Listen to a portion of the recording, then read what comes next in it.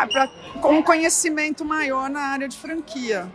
É, eu sou advogada há 26 anos, atuo na área de contencioso, né, que é na briga, e eu quis me aprimorar, conhecer mais, me aprofundar e realmente estou bem, bem é, interessada na área, aprendi bastante coisa, vi que a franquia é um mundo à parte, assim, completamente diferente de muita coisa que eu pensava do que, o que seria, né?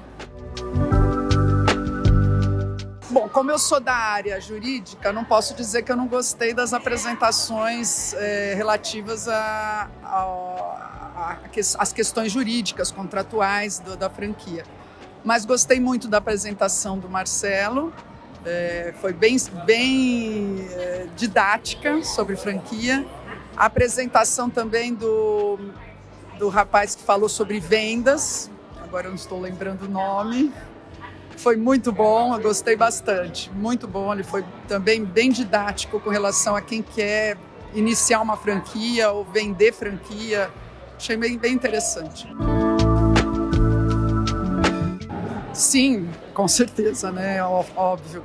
É, pra, principalmente para quem está querendo entrar nessa, nessa, nessa ramo da franquia, é, é importantíssimo fazer esse curso. Eu acho que não, ninguém que, que queira é, seguir em uma franquia, ou como franqueador ou como franqueado, não deveria deixar de fazer. Tem que fazer.